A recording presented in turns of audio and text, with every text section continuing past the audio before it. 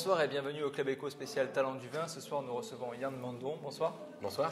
Alors, vous êtes le PDG de Vinoreco qui a été cette année euh, lauréate dans la catégorie euh, marketing pour cette première édition des Talents du vin. Euh, vous avez mis en place un, logiciel qui aide les consommateurs qui sont souvent un peu perdus dans les rayons des supermarchés ou dans les caves pour choisir leur vin. concrètement, comment fonctionne ce, logiciel et, quelle est l'idée principale de, ce logiciel mis en place par Vinoreco ben, L'idée principale, elle est très simple en fait. C'est que 85% euh, du vin est vendu en grande distribution, déjà. Donc, euh, et tous les gens qui viennent en grande distribution, tous les gens qui viennent en grande distribution, 9 sur 10 connaissent pas le vin, ils savent pas. Et quand vous arrivez dans un rayon vin, c'est euh, imaginez que vous arrivez dans une concession automobile et qu'on vous dit voilà, il y a 1500 modèles différents de 1500 couleurs différentes, allez-y, choisissez. Ben, le vin, c'est pareil. Voilà, c'est le seul produit dans un magasin où vous avez 1500 références qui sont toutes différentes et surtout auxquelles vous ne connaissez rien. Résultat, il y a 25% des gens qui rentrent dans un supermarché qui quittent le rayon sans acheter de vin parce que c'est anxiogène et si je me trompe et je ne sais pas quoi choisir, etc. Donc moi, l'idée, c'est très simple, c'est euh, créer un service sur une tablette numérique ou sur mobile sur smartphone, qui permet aux gens de choisir leur vin par rapport à leur motivation essentielle. C'est le, le, vin qui va aller avec le plat que je vais préparer. Et euh, la personne peut choisir donc son budget, le type de plat qu'elle va faire, la recette qu'elle va faire, et le, logiciel va la guider jusqu'à la bouteille. en résumé, je réponds à deux questions du client. C'est c'est quoi le vin qui va avec mon plat et il est où le vin dans le rayon? Voilà. Et justement, vous parliez, c'est quoi le, vin qui va avec mon plat? Comment euh, vous avez déterminé ces accords mes vins euh, Comment ça a été mis en place? Alors, euh, on a travaillé dès le départ avec l'Institut des sciences de la vigne et du vin. On a pris des stagiaires œnologues, enfin des diplômés œnologues. il y a même une qui était œnologue et sommelière. Et on a dit, voilà, on va normaliser le fonctionnement du logiciel. Il y a tous les plats qu'on va rentrer dans ce logiciel. En face, on va mettre toutes les appellations. Et comme elles ont toutes des caractéristiques propres, on va accorder ces plats avec les appellations, en leur donnant des priorités. Un bœuf bourguignon, ça va avec du bourgogne, des choses comme ça. Donc vous vous êtes associé avec, avec des œnologues à la base pour, ah oui, pour mettre. oui, oui. il ne fallait pas qu'il y ait de, de doute sur le type de recommandation du mmh. Vous aviez euh, lancé un premier concept euh, de borne interactive euh, avec Carrefour Planète, je crois. Oui. C'était les bornes Max le sommelier. Oui, c'est ça. Carrefour Planète a, disparu. Est-ce que le concept existe toujours ou... Oui. Oui, oui. Alors, en effet, on devait, au départ de Vinoreco, en fait, c'est Carrefour qui nous a mis le pied à l'étrier. Réellement, ils ont joué un jeu, ils ont joué le jeu formidablement, et on devait déployer dans tous les planètes, c'est-à-dire tous les hypermarchés Carrefour de France notre concept Max le Sommelier. Bon, malheureusement, Planète n'a pas marché comme prévu, donc le projet, c'est le programme s'est arrêté. Il n'empêche que les 43 bornes qu'on a mis en magasin, donc ça a commencé en 2011, elles y sont toujours. Euh, il y en a bon, qui vont mourir de leur belle mort.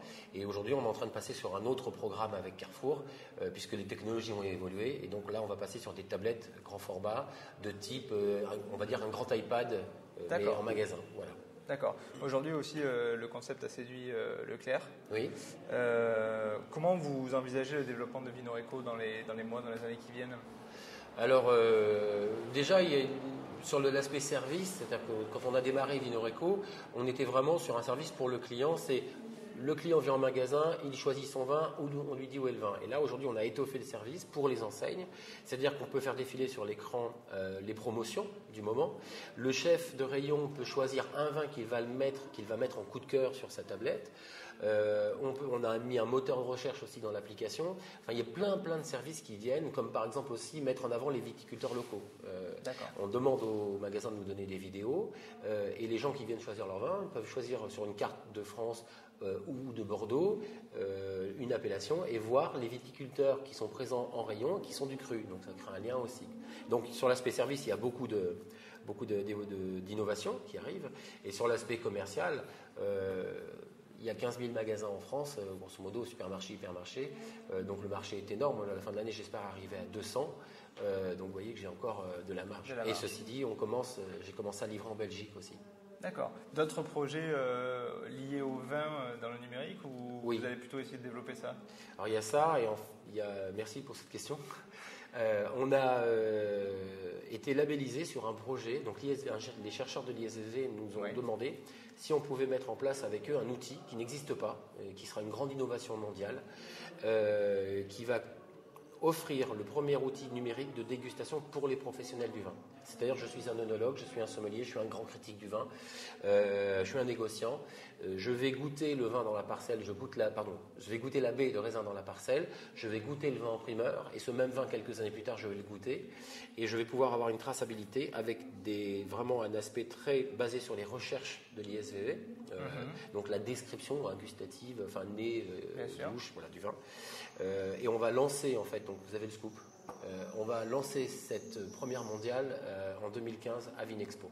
D'accord. Et concrètement, quel va être l'apport de, votre société là-dessus?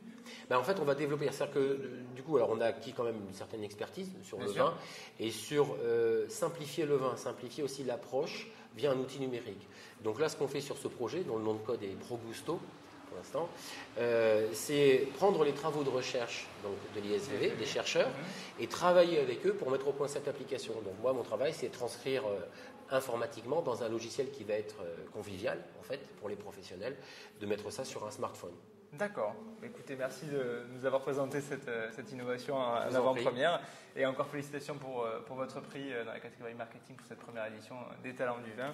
Bonne soirée à vous et merci à vous d'avoir suivi le Club Eco spécial Talent du Vin. Merci.